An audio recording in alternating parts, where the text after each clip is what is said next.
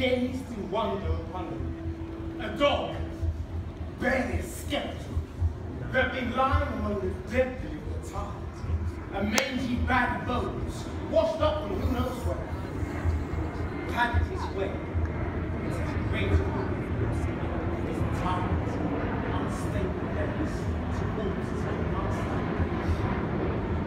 His head was full of the times when he used to be taken on adventures to hunt wild goats, or deer, or hares, in answer to the name Argos. Both eyes had grown dull and milky since the last. And he was too old to care how his fur had become unkempt and full of fleas. But when he saw Odysseus standing there, though it took all his strength, he briefly wiped his tail